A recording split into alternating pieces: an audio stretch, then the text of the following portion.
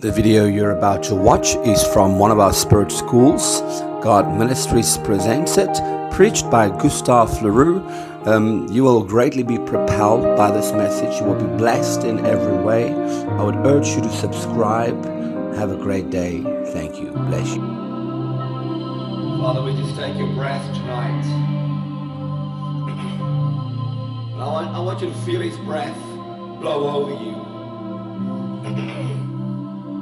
I want you to feel his breath as it breathes onto you. You know, it's the breath of life. It's a dimension of the Father that has kept the human race alive. It is that ruach, it is a dimension of His Spirit that's pouring into you daily. Matter of fact, every time I breathe in, there's a dimension of His breath in me. Every time I breathe out, there's a dimension of His breath that goes into the earth. I remind you tonight that you're made in His image, that you are in His likeness. That the closer you get to being like Yeshua, the closer you get to living and moving and having your being in Him, it's, it's, it's the, be- the better for the earth, the better for every dimension of who you are. Because every time I breathe in and I go deeper into Him as a son, and I breathe that out, I breathe that glory into the earth, and it begins to realign, it begins to shift the earth into place. The, the power that you walk in, the dimension of His glory that's yours, it aligns and it shifts the earth. It is what the blood could not do. The blood restored mankind. The blood did not restore the earth. We, as, as the ones with dominion, we are the ones that's consumed by the blood of Yeshua. We have to restore the earth. And it's the breath of Yahweh in us that restores and aligns things again as it's meant to be. Father, tonight I pray that your heart will touch every one of these young men, young women in front of me, Father. You will open up a dimension of who we are in you that will, that will realign and reshape us and everything we touch. That we'll begin to understand the fullness of your glory in us. That we are designed to live forever. We are created to be in you. We are literally a being that is to be united once again with the fullness of the oneness in you. Father, we love you. We praise, worship, and glorify your holy name. I love you, my King. Everyone in this room loves you, my King. You are glorified and magnified.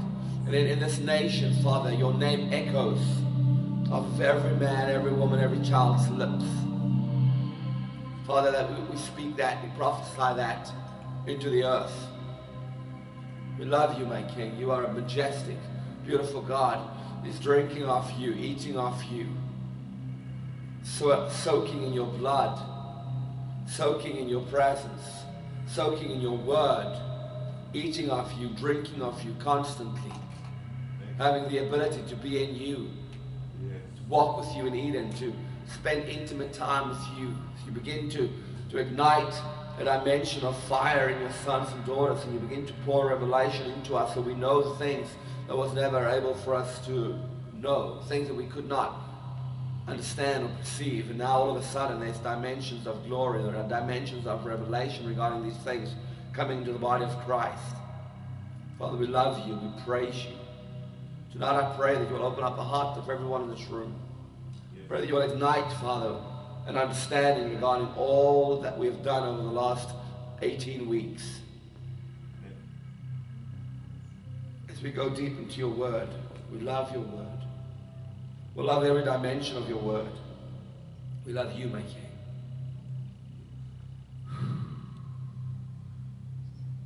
Your breath is what keeps us alive. We love it. We love you. Thank you, Yeshua. Amen.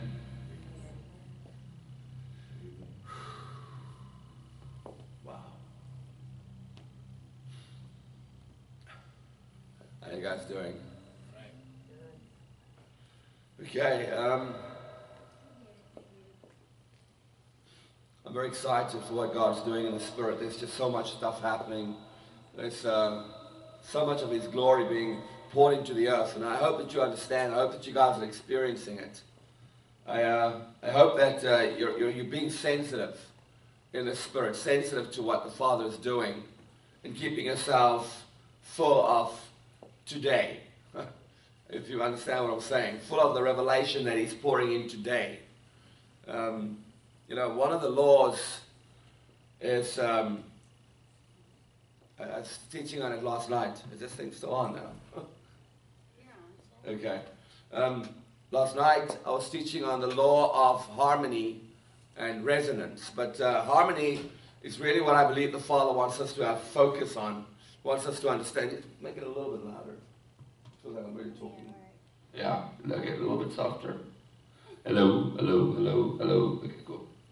Um, I don't want to strain my voice too much. uh, the law of harmony is the coming together of sounds, frequencies, making a specific sound out of more than one sound put together, right? It's like um, like an like an, a band of musicians with a with a drum, uh, bass, guitar, uh, flute, whatever, and making one sound, making many sounds become one. And what I believe the Father wants to kind of say tonight in this is that we need to take the old and the new and bring a new sound into the earth. You know, because we don't throw the old away. The old's gotten us to where we are today. But we cannot hold on to the old. We cannot hold on to what we know. We have to replace what we know with the new. Amen. And that is, uh, uh, it's not always easy for us to do because all I know was the old. That's the only way I knew how to do ministry. That's all I knew how to, how to love my God, how to spend time with Him. That was the only way. And then something completely different comes in and it changes all that I am in my Christian faith. And now in the beginning I threw everything out that was old. And then the Father started directing me and understanding that I have to keep the old and blend the new into it. Because then it recreates the old and the new and recreates something completely different. And that's kind of his desire because the new is still coming in waves and it's really blowing the body of Christ into a new direction. But in, in the same breath, we have the old and it has to mend together so that that which the Father is bringing from the two sides can recreate something that it's meant to be today. All right. It's revelation and it's insight. It's a, it's a new dimension. You know, I was lying on, on the floor here just soaking in Him. And um, the, the engagement that I was, uh, was experiencing was, was extremely vivid. I was lying on the, on the floor, and I, on the ground, and I could feel the, the, the ground and the sand that I was standing on. Um, I, I, could feel myself picking up a specific sword that the Lord's given me in the spirit. I could, uh, and, I, and I realized that I was thrown onto the floor by a demonic entity. Um, it was in the woods. It was very vivid, very real. Um, I always also realized that this this garden, I would say garden, but it was more like a, a, a, a woods. You know, it was um, big trees and it was a massive place. Um, I would expect dragons and, and, giants to live in this place. I can almost see it in a movie scene. And um, it becomes real and becomes more real every time we go in. And I want you to understand that the Father's desire for you is to have your spirit life oversee your natural and your soulish life. You know, when we engage these letters, when we begin to understand what the Father has made available in the Spirit. Um, I, I teached on Friday at the Denham Springs um, on, on just being the Spirit. And I wasn't even supposed to teach on that. I was supposed to teach on the courts. But when I got there, I felt the Father wanted me to teach on something specific, something different. And so I've just been going with what the Father has placed in my heart regarding what I need to share wherever I go. Well, I'm going to stick to what I need to do, but I, I need to, to also speak the Father's heart. And, and, and I was talking about being the Spirit, and I really want to kind of remind you that that's your Christian walk. That's your life. That's what your life's supposed to be. It is the constant engagement, the constant going deeper and deeper into the Father, constantly having a greater understanding. And, and having a greater understanding is not studying and reading the Bible, although it's part of the Bible. You know, I was accused of. Uh, um, um, I wasn't really accused per se, but someone didn't listen to what I was preaching and uh, um, misheard something and then interpreted it in, in, their own way. and uh, kind of wanted to rebuke me in a way. And then I just, I just, I just love on them, and I know that they didn't mean to be rude. They just wanted to to say something from their side because what they heard freaked them out. Yeah. And, and, and, and I know that that happens all the time. And immediately when that happens, we kind of put a shield on and say, well, I don't want anything to do with that because that's not in my perception of the word. But I need you to understand, I love the word of God. But I, I don't love your perception of the word of God. Okay, and I'm going to overshadow my perception of the Word of God all the time because when I speak from the heart of Yahweh, it is not in my understanding of the Word and it's not in your understanding of the Word. Because we have overshadowed um, our own perception, we've overshadowed what the Father wanted to say by what we believe. Traditions. Come on. Does that make sense to you? For example, and I want to I want to focus on this just for a couple of seconds, when the Bible talks about Jesus being the Son of God. Now, I need you to understand, I created my Son. Yeah. Now, don't misunderstand me. I didn't form him or shape him, but my son is there because of me, Yeah. Your seed. Come on. because of my seed. And so we have begun to believe that God the Father created Jesus. Yeah. Your seed. Come on. If we believe that, then Jesus is less than the Father. Oh, yes. And that's a problem in our theology. Mm-hmm. We cannot, under, we cannot perceive that and continue in believing that. That was my argument with this young lady. And, and, and I know she misunderstood what I said because I didn't say what she thought I said. But when, we, when you begin to understand what Jesus did in the Bible, he came as me. Yeah. Yeah. Yeah. He didn't come as God. He gave up his deity so that he can come down into the earth as me. Me. Yeah. So that he can show me how I'm supposed to live. yeah. That I have an, a supernatural birth. Just like him. Just like him. And then after the supernatural birth, and I begin my walk, I have a supernatural walk. I, I'm a completely new being. Mm-hmm. But human, Yeah. with human limitations, until I'm glorified. He says things like, Father, glorify me like I glorified you. He constantly talk about God as his Father. And so we begin to believe that Jesus is, is the Son of God. Now, don't misunderstand me. Yes, he's the Son of God. Yeah. Yeah. We have to, we have to know that, but it's because he wanted to present me with an example of how to be a son to an almighty God. Because when I'm in the kingdom of heaven, and I know that some of you have been there, Jesus is not the Son of God. He's not walking around there as less than the Father or less than the Holy Spirit. They are one God united. Um, uh, and, we need to just see that. We need to just understand that because it's out of that where the revelation of the Word comes in. And, and, and it's confirmed if you look at the very beginning where creation starts. And you look at John 1, where the Bible tells us that in the beginning was the Word, and the Word was God, Word, and, the, and God created everything, and everything was created for Him. And that word always stands for Jesus. Yeah. So He was the one that created everything. Yes. All right. We just need to understand that if He created everything, then everything came out of Him. He's not less than the Father. All right. And the Bible tells us that in the beginning, God, and that word God is a plural, Elohim. It's a combination of the unity of the one God that speaks life over every creation, all creation. And then a part of that God, a dimension of that God was sent into the earth to represent mankind. So that we can see who we should be in the earth. Yeah. And what we can do in the earth. What's available to us while we're in the earth. While we're here. Come on. Do you guys understand that? Is that okay? I wanted to make that clear because it's not in our theology. We have limited our Jesus. It's Jesus Christ our Lord. And, then it- sometimes they change. It change, change to Christ Jesus Lord or Lord Jesus Christ. Yeah. He changed it because he shifted in his deity.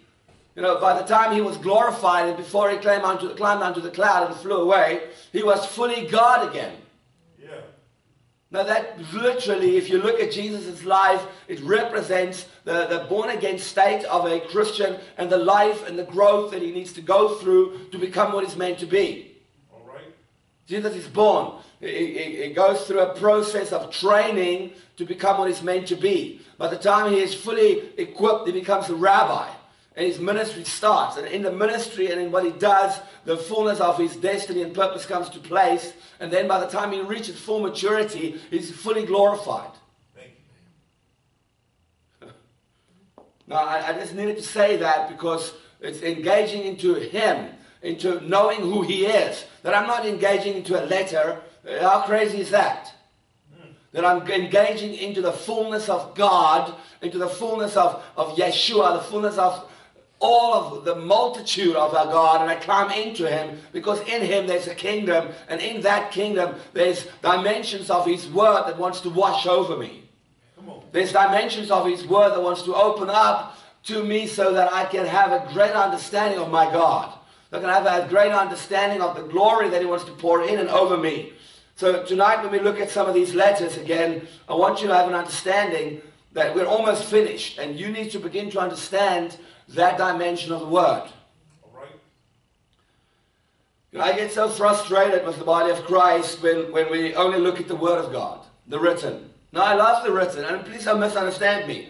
I, I'm busy. I'm busy reading the Bible every day of my life. I meditate on it every day of my life. I listen to hours and hours of the Word. I meditate on what I listen to. I go back into it and I overshadow it all the time. It's, it's my bread. It's my food. Right. Okay, but in the same breath, it's not my God. All right. So we can hide it. It's not my God, and it's not an idol. And I do not place my God into this box. Come on. Come on. Because my perception of this word is, is my understanding. My little brain, uh, that I literally only use what, 10% of its full capacity, Come on. Come on. cannot understand what a, a, a- a almighty God meant to say. Woo. Right? So his desire for us is to, to go deeper. And let me express and explain something. When I start operating fully in body, soul, and spirit, I will start using more than 10% of my brain. Because if you go scientifically, when you start using more than 10% of your brain, you can start moving objects with your eyes. You can start hearing people's thoughts. You can start doing supernatural things like levitating, flying. You can overshadow the na- nature of the natural. Which means you can jump off of high buildings without breaking your kneecaps. Come on. Now that's just that, that's just scientifically proven. And then if you start looking, and we don't do this because we're too lazy, but if you start going into uh, men and women of God that's doing extraordinary things, you'll find out that there's people today that's running up walls.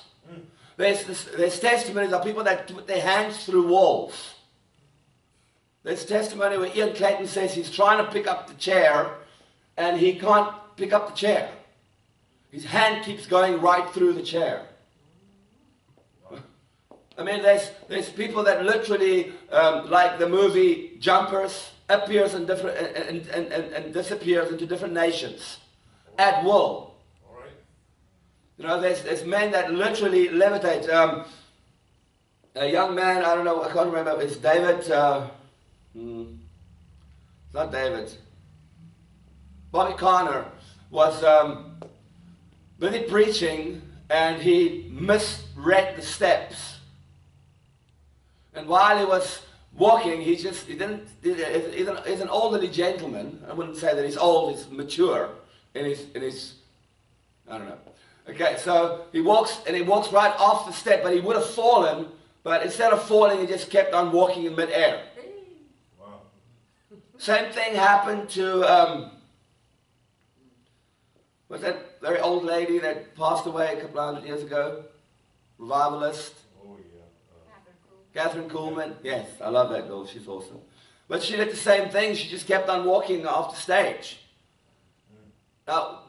That might not be an example per se of someone using more than 10% of your brain, but, but see, the understanding is I'm a spirit being, and when I start thinking with my spirit instead of my brain, I add to the capacity of understanding and revelation.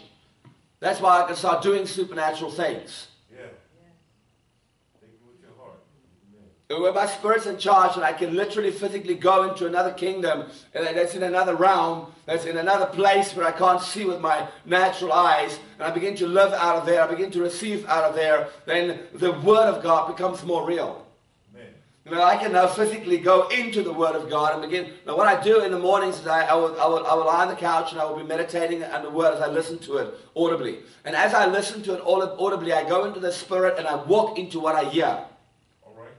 And it makes the Word literally like a hologram.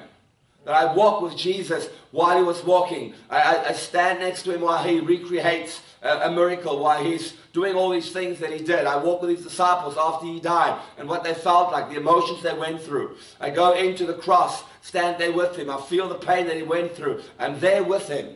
Because I'm a spirit being, I can go in beyond uh, space and time. I can operate at the speed of light because I'm in Christ. And going into these letters is the refreshing vibration of his frequency that aligns me with who he wants me to be. You. Guys okay? All right. Thank you. Tonight we're doing the Tsaddik. Tsaddik. Tsaddik. Um, there's many different spellings. Um, it is uh, T T Z A D D I K. And there's another one that's just uh, T S A D D E. Um, Sad Sad. That, there's many different many different uh, um, ways of saying it, ways of spelling it. But I like the Tsaddik because it makes more sense. It's a little bit easier to pronounce. My pronunciation might not be right, but I want you to hear it, write it down. If you don't, if you haven't bought a book on the Hebrew letters yet, that'll be a good idea. They're not very expensive, maybe between five and ten dollars, and you can find yourself a good one. Um, but it, it is a, it represents a person that is just, someone that is just, that operates out of justice, as well as the righteousness of the Creator. Now, just right there, we can stop, and I want you to begin to understand that the righteousness of the Creator is something we cannot fathom yet, All right. right? Because the righteousness is a dimension of Him being the Father, which represents justice and just, Him being just and justice. Um, the fact that He is mercy, it's three skins. It's uh, parts of the Father that we step into that the enemy cannot get through. So when you begin to engage this letter, you begin to understand that I step into the person, the Father, and parts of him that is just. Now, just as of the Father, it means that he cannot go back after he said something. Come on. Now. So if he said, if you touch the ark, you're going to die, yeah. he can't go back on that word because he's just. All right. So the, the ark accidentally tips over, and uh, the Good Samaritan wants to catch it, and as he touches it, he dies. Yeah. I would think that's rude. You know? Maybe not you, but you know, you just try to help, but he's just. He's just. And of course, justice is another dimension of the Father. It's another skin that I step into. You know, he represents uh, a dimension of the law that when I operate in it, it has a perfection that it flows into the earth. So the Father has a specific order for things to work in, a specific order for things to happen in, and if it's out of order, out of place, it creates a doorway for the enemy to come in because he is the perversion of um, uh, justice. Yeah. But he also has the knowledge of how the justice of the Father works. Yeah. So he needs to make sure. That's why we have to shut all doors. We have to keep ourselves in Christ at all times, out of the flesh, in the spirit. Because Satan has to find legal right before he can do anything. And if he has legal right, then he will come in to bring destruction. Because he's the perversion of the original. Mm-hmm.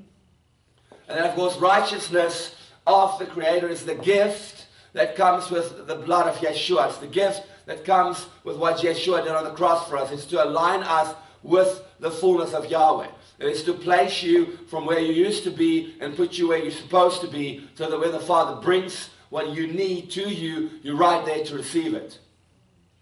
It's in right standing. Right stand. You guys okay?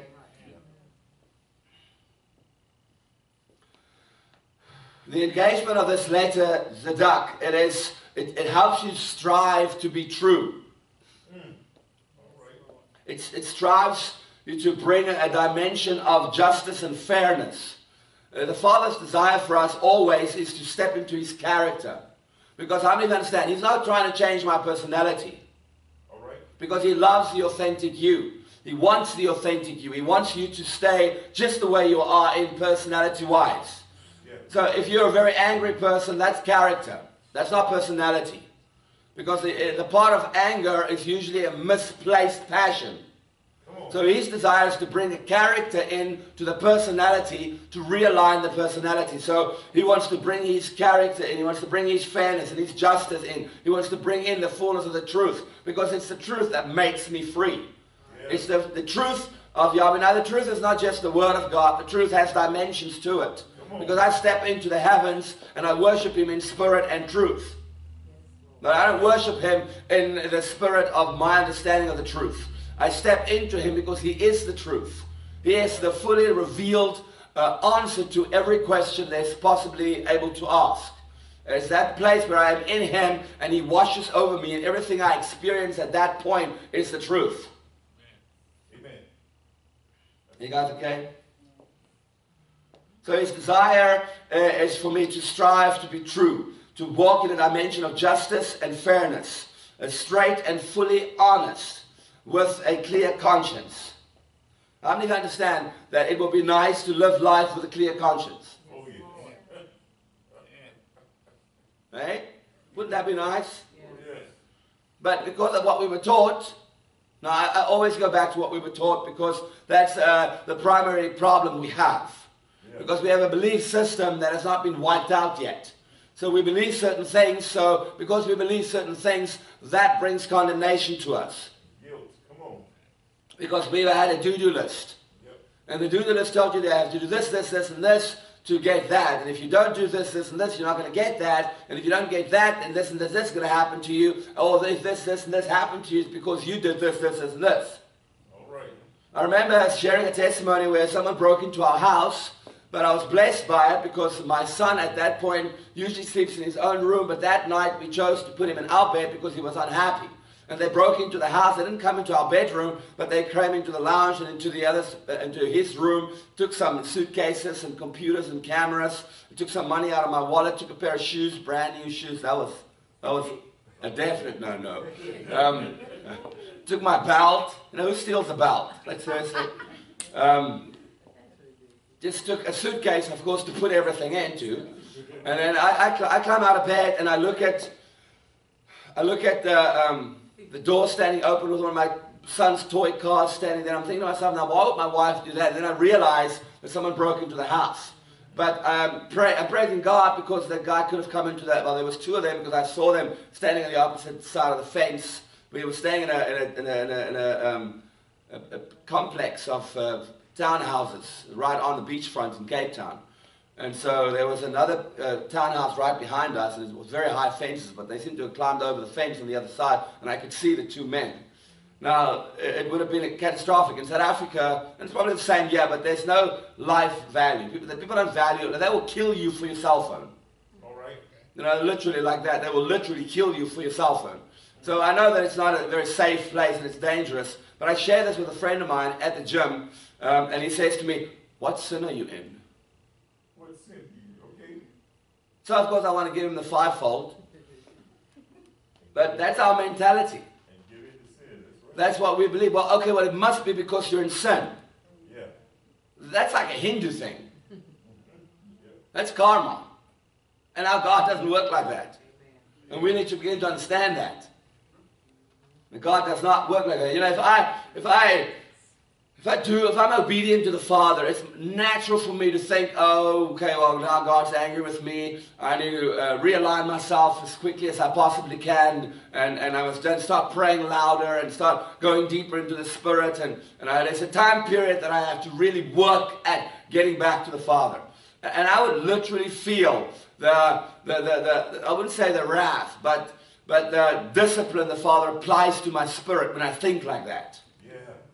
Because it says immediately, it says that's not how I operate. That's not how you are with your sons. If they do something wrong, you, you, you address it and you deal with it, it's over. You never even mention it again. Because that's the Father's heart. Amen. Not, that's not the way we see it, though. Help us, Lord. Help us. So the Father's desire in engaging the letters for us to go through that process of change, to find that, that the character of God meshed into your personality. You guys okay?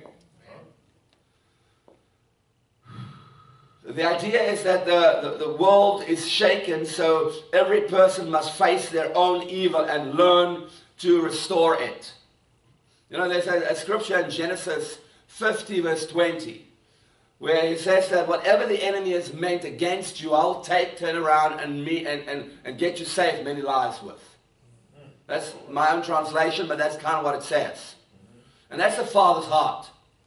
You know, whatever is happening in your life right now, wherever you're at, the attacks that's coming to you, the enemy wanting to kill, steal, and destroy, you're in the process of learning a whole another dimension of your faith. You're busy starting to walk in another dimension of who you are as a spirit being. You're busy experiencing things in the spirit you could never have experienced because it was never taught. So now there's a big shaking in your faith, a big change in your faith, and the enemy is coming against you with all force. We need to understand that the Father's desire for you is to know that He is right there in the midst and He's lifting you up, constantly aligning you, bringing your personality, uh, His, his, his uh, uh, character into your personality, changing you, molding you, folding you, you taking the bad and having the Father turn it around and let it become a blessing. Because He brings restoration. He doesn't only bring restoration sometimes, He brings restoration all the time. Thank you, Lord. Thank you, Father. Are you guys okay? You know, I'll share a testimony that uh, David Hogan shared over the weekend that was really just, it really just blessed me. Um, he was in Germany and um, he, he gets to the meeting and there's a little baby. The baby comes being pushed in and this, it's a, it's a, you know, Germany is mainly white people. It's like neon white. Have you ever seen a German? Yeah. It's not normal white. It's like a neon white glow, White, white. like very anti-sun. Right, so he's in this in this um, meeting, and it's just Germans, and this little baby comes in, and the baby is neon black. Now I don't know if you know what neon blacks look, black looks like. It's really dark. It's like a, an African black, like like like not, not like like a, a, African American. It's dark, dark, dark, dark, like a um, um, Like a blue black. yeah, like a blue black, yeah. And uh, he picks this baby up and it's extremely misformed. Her head is swollen up and all dented in. Um, her legs are twisted, her arms is twisted, and she's a big mess. Matter of fact, he looks at, at, at, at it and says, What is this? Did not even look like a baby. It was still alive and breathing. But then he starts telling the story about how this came to be. Because there's only a bunch of Germans in the room and there's one neon black baby. Doesn't make sense to him. So the mother and the father that adopted the baby came forward and said, Well, we had both had dreams, and in the dream uh, we were, had an encounter with an angelic, an angelic being. And the angelic said the same thing to both of us, and it was this go uh, to Africa and adopt the most disformed baby you could find. Wow. Now that has to be an audible voice from God for anybody to do. Because it's just not easy. It's difficult. Yes.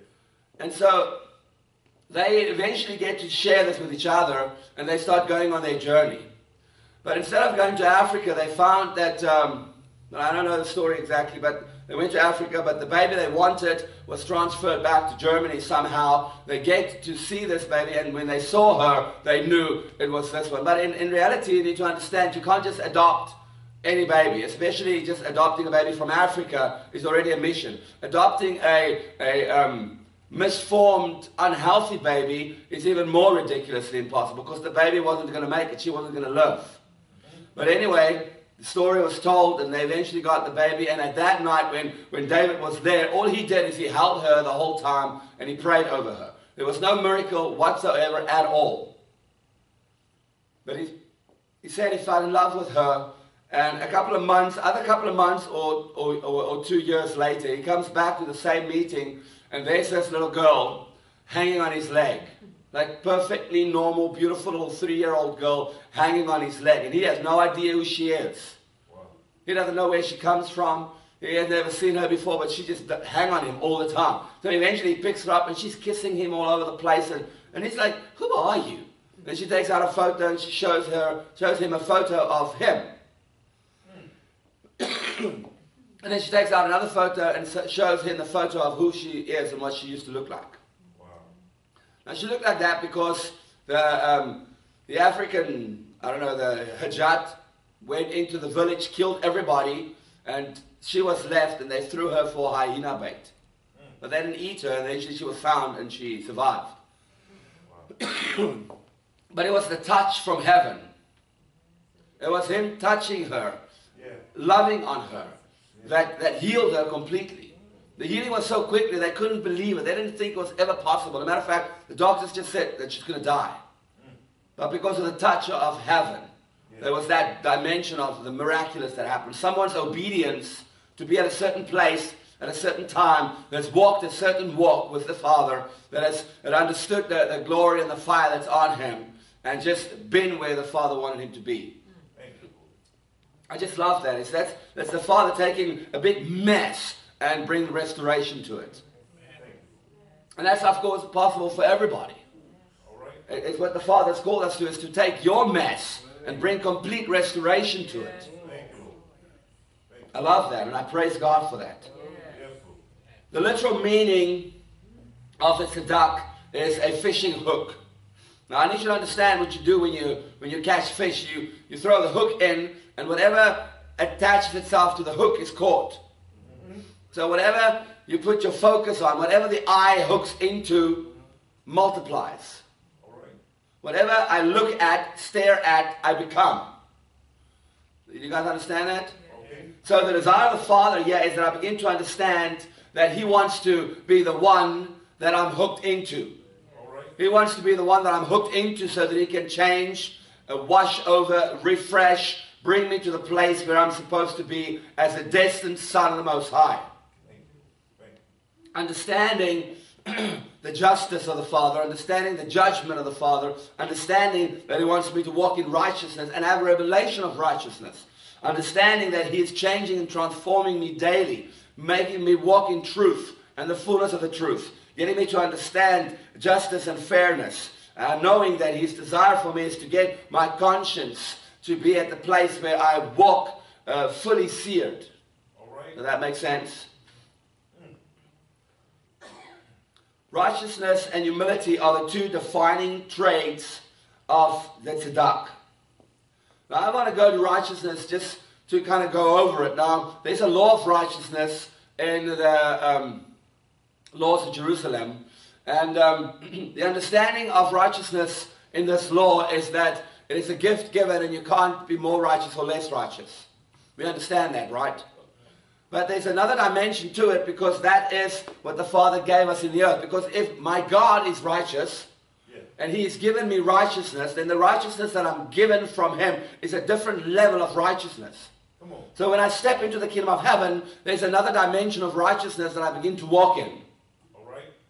And that's what I, I believe the Father wants us to begin to understand. That, that as I walk in this dark, as I go into this living letter that protrudes the life of the Father into me, the gate that I walk in begins to wash over me the dimensions of righteousness. The fact that I can shift into a deeper place with the Father, uh, aligned in a greater dimension. So, in righteousness in the earth, I'm in right standing. So, I'm at the right place where the Father wants me for this time and season. So, when I shift into another dimension regarding that righteousness, I'm in the kingdom of heaven. I'm in His heart. I'm at a whole different place. He doesn't have to pour anything into me. I'm in Him. We, we, we've touched base on humility, and we need to just understand what it means to be humble. You know, humble is, is not giving God all the glory. And I know that doesn't sound right. I know that it sounds, no, no, no, wait, wait, you don't, but you understand. We have to give God all the glory. And yes, of course we do. But his desire for us is to also understand when he wants us to walk with him hand in hand. He says to us, go out and heal the sick. He doesn't say, go out and I'll heal the sick. Come on. And his desire for us is to take responsibility for what we have done. All You cannot take glory from the Father. So when someone comes up to you and say, wow, that was amazing. And we say, oh, it wasn't me, it was all God. We are taking glory from him. Why? Because when I can tell you something, when my son does something good and someone goes up to him and says, wow, dude, that was amazing. And he says, well, you know, my daddy taught me everything. I had nothing to do with this. I'm going to go, no, son. No, no, no, no, you don't understand. You did that. And it made me so proud to see you do that. Wow. Take the glory.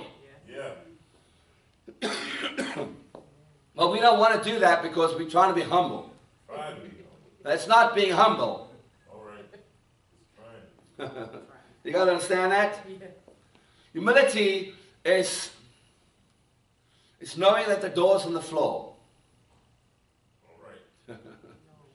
It's knowing that the Father has taken my life and it's no longer I who live. It has nothing to do with what they think of me. It's what I represent to the Father, and I have given my life to Him. It's no longer I live, but Christ that lives in me. It is a surrendered life. It's not. I'm not trying to look humble to you All right. because that's not my goal. I don't want to impress you.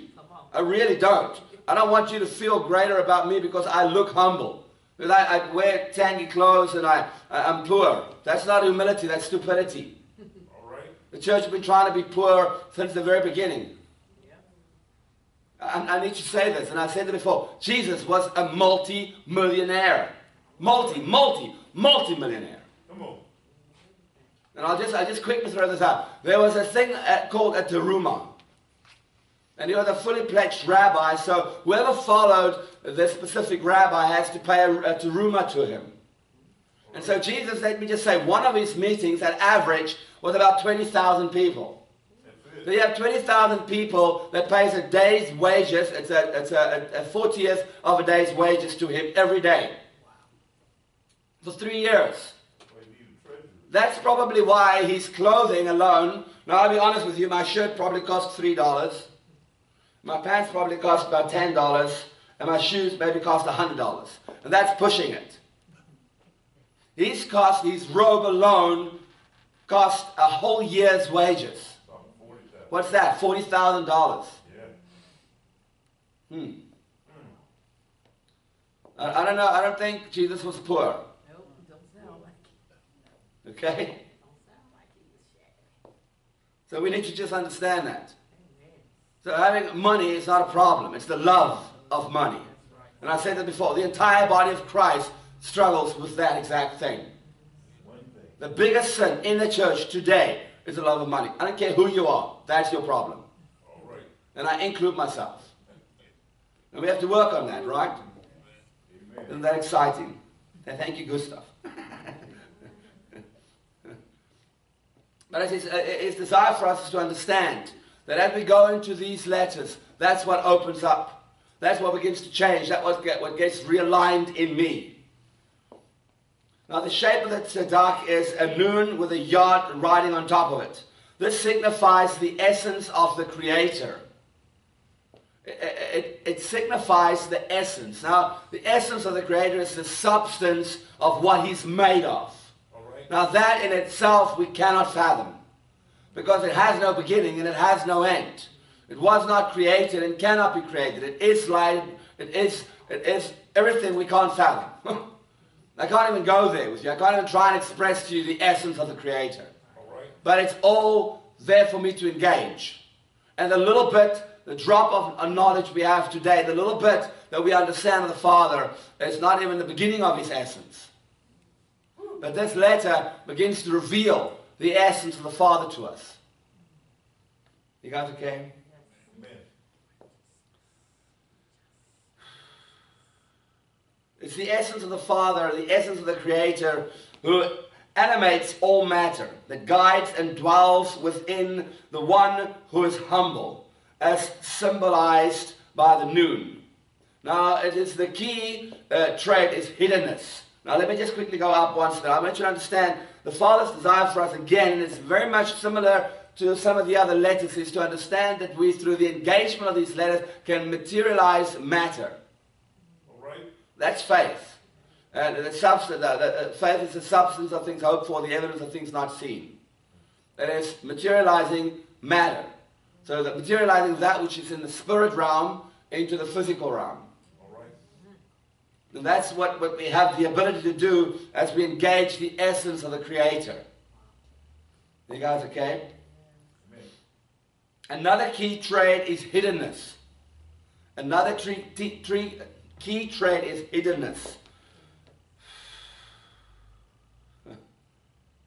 Now, I don't know about you guys, but I love the fact that I'm hidden in Him. The fact that I have now, over the last six years, learned to no longer live in the earth where Satan sees, kills, steals, and destroys, but that I live in Him and I'm literally hidden in Him. Where I stepped into the Holy Spirit, and the Holy Spirit has three skins. I step into righteousness, and joy, and peace, and that slides me into the Holy Spirit. Yeah. Then the Holy Spirit slides into the Yeshua with me in Him, and I have the way, the truth, and the life. Another three skins that I slide into, that I slide into Jesus with, that we are combined into each other with. That's uh, six skins plus my three skins that the enemy cannot break through. Yeah. Then there's another dimension of the Father, which is justice, judgment, and mercy. Yeah. And I slide into that, and we slide in together as one being. Yeah. Where I'm in heaven, He's in me. The enemy cannot go there. I'm hidden in Him. I'm hidden in a dimension of the Father that can't be seen by the enemy. It's when I step out of that. Now, I need you to understand the, the, the, the, the complexity of trying to just step into it. I step into righteousness with revelation of righteousness. I step into joy and peace with the revelation of joy and peace. And I step into Holy Spirit through that dimension. And from there we step into Yeshua's way, truth, and life. It, it's, it's a whole process of stepping into all of Yahweh. And then for me to step out of all of that is a big fat mission. So in reality, for you to step back into the flesh is a big process of coming against everything you just stepped into. It's coming against justice, coming against uh, justment, uh, justice, coming against mercy, coming against the way, the truth, and the life, coming against joy, peace, and righteousness, and then stepping out into the flesh for the enemy to kill, sin, and destroy, for you to feel condemned. Then you have to repent, Oh, the Father to forgive you. Then you have to go around and get your steps back into the body. How about we just stay in spirit? Lot of work. Amen. It sounds like a lot of work, right? Yeah. Are you guys okay? I love the hiddenness because it's not just me being hidden in him, but he's also hidden, hidden in me. Yes. Every dimension of the fullness of God is hiding inside of me. And I say hide, and we have understanding of hide. He's not hiding from anything. He lives in me. It's his hideout. Like my house is my hideout. You know, it's, it's my sanctuary, my safe place. Right? And so it is for my kids. My father is my hideout, my safe place. And I believe because we are one and he lives in me, it, it becomes his residence. All right. But in the same breath, uh, I heard this testimony and I love it. It was so awesome. So this lady is driving. She's got herself and her two kids in the car. And she's on her way to a conference to go speak here in America. And she's driving and it's her turn to go. And as she goes, there's a police car driving behind her. And um, the truck coming from downhill doesn't stop at the red light. And as she goes over, he is obviously meant to crash right into her. And she looks to him and she says, Father, hide me in you. And the truck drives right through them and hit brakes, stop. He causes an accident. uh, And uh, everyone's blown away. The policeman is freaked out. He just saw the whole thing. And they walk up to her and they're like, and she's like, well, you know, can we hurry this up? I'm going to be late for a conference I have to go to. But she was, she had the ability uh, through being a spirit being to have the Father hide them in that, that, that specific time in her, in, in him. Yeah. Yeah. It's what Yeshua did when he shifted his soul and his body into his spirit. And uh, they could no longer see him. They walked right by and could not see him. Yeah. Hiddenness, understanding hiddenness, understanding what the Father wants to bring us to believe and walk in. Thank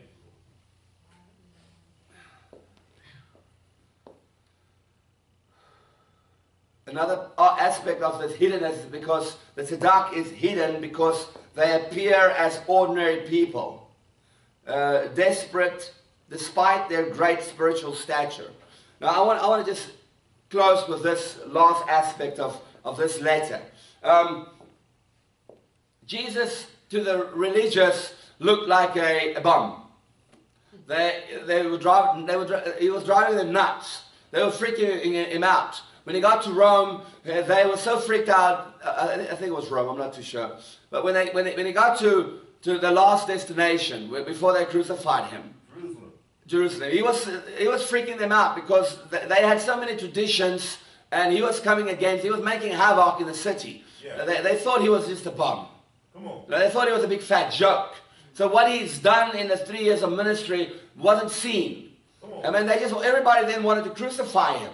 They just wanted to come against him. They they didn't see the value of the Son of the Most High. They never they, they, they knew the prophecies. They they studied it. They knew what was supposed to come, but they didn't recognize it. They didn't recognize the, the power in the ordinary. Hmm. Does that make sense? Right. And so we need to begin to understand the Father as you engage in these letters as the ordinary. Because let me tell you something, we are pretty normal. But we are doing supernatural things, and what I am doing in the spirit cannot be seen in the natural. What, what, what you guys are doing in the, in the spirit cannot be seen in the natural. We look like ordinary people, but we are lining America. We're doing ordinary, we look like ordinary people, but we, we're slaying dragons and, and slaying giants and, and aligning things to fall into place for a nation. We, we have the ability to envelop a whole state in our hearts, to change it, to come against powers and principalities and rulers of the darkness of this age that wants to kill, steal, and destroy, that has brought a, a um, dimension of, of um, bondage on God's people for so many years. It hasn't been dealt with. Because let me tell you something, as, as much as America brought the gospel to Africa, they, they do not live in the kingdom. Americans don't understand the kingdom. Now, I say that, but, but it's changing, so don't, don't misunderstand me. Um, but most of, of our missionaries uh, is, is coming to Africa. We have Kim Clement. You have no Kim Clement, he passed away just recently. His prophet, prophetic word was so accurate that he got locked up. He got locked up because the government came to him and said, You cannot know the stuff that you're talking about. Right. It's impossible. He's from South Africa. All right. Uh, Rodney Howard-Browne. Well, I, I- I don't know all the guys. There's many, many, many of them. Myself included. Uh, if I look at Ian Clayton, uh, was a South African. Rodney Howard Brown. Um, my, one of my, my mentors, um, Grant and Samantha Mahoney, they are South Africans. All right. You know, the African nation has been sent, now not, not all of them because it's from all over the world, come to America. Let me tell you, America is the, the leaders of what the Father wants to do. All right. And that is why everyone's sent here to bring this nation back into alignment, back into place, um, spiritually, physically, mentally, socially. Because the ecclesia is supposed to run the nation. The ecclesia is supposed to run the earth. But it's not. It's leaving it in the hands of the unsaved, leaving it in the hands of our presidents. And so as we begin to understand who we are as just ordinary people and what we do in the spirit and the value that it carries, and the prayers of, of, of the, you know, I, I, I- I always say this. There's this, this funny looking old lady in the church. No one really pays any attention because she looks crazy. All right. Have you ever seen some of those? Oh, yeah. There's this one specific lady that I love. I've fallen in love with her. She's the most cutest, most beautiful, most powerful woman I God I've ever seen. She walks with a stick. She blows the shofar, but you can't hear it. It just sounds like a, I don't know what she does. It's like, It's, it sounds insignificant. And she's been kicked out of church. She's been beaten up. She's this tiny, beautiful little old lady. You cannot even begin to think that someone can hurt her in any way, fashion, or form. And I pray to God that I never see anybody hurt her because I will kill him. Literally. But anyway, she, she's just a strange lady. But then you look at her in the spirit and she's this giant multitude of the glory and the fire of God. It's gone through all the stuff that has aligned nations, that's stopped wars, that's done all kinds of things that we can't even begin to fathom.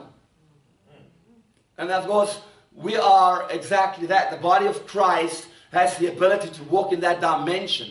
And engaging with this letter, we begin to understand um, how significant we are in the spirit. Although I, I don't have the president come to me and ask me for, for advice, I believe it might happen still All right. right? But that's not the point. The thing is, it's not the president that runs the country. It's not the leaders around him that runs the country. It's not our president, Zuma, that runs the country. It's not supposed to be, although it is. But we are the ones that align. We are the one that goes into the spirit and brings things into place. And we need to begin to understand who we are. And engaging with the Tsaddik, Tsaddik is, is to elevate us into that place.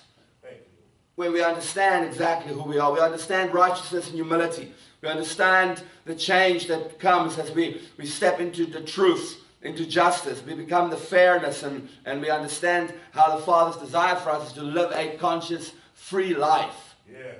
Yes. Yes. His desire is for us to blend into his character so it can shape our personality into who we're meant to be. Exciting, isn't it? You guys okay? Amen. Let's stand.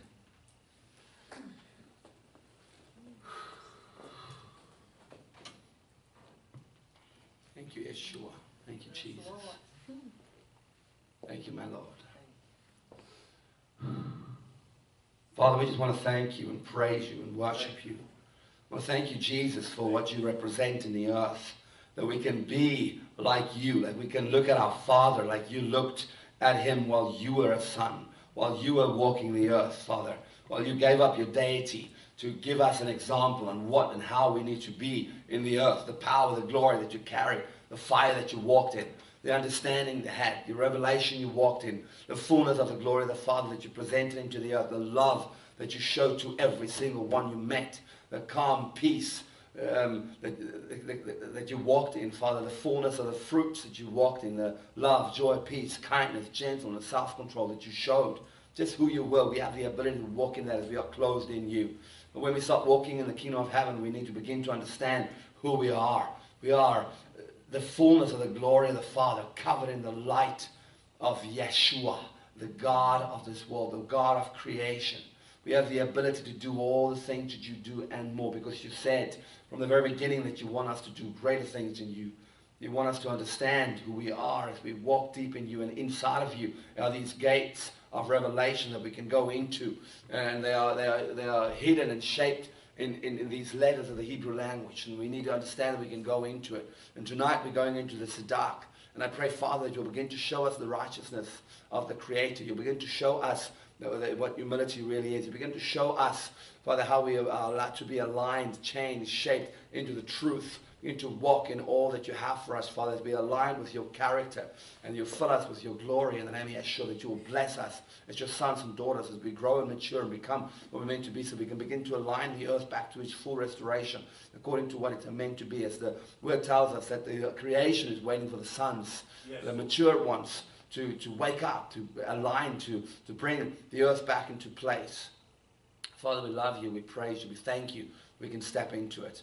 I speak a blessing over your people tonight, Lord. I speak uh, uh, favor over everyone. I pray for businesses to grow. I pray for financially that you will bless everyone in this room, Father. As we begin to trade, I pray, Lord, that you will, you will open our hearts and begin to help us understand that there's a harvest in our giving, Father. Harvest for revelation, intimacy, and financially, Father. Bless your people. Take us deeper, deeper into you. We love you. We praise you in the name of Yeshua. Amen.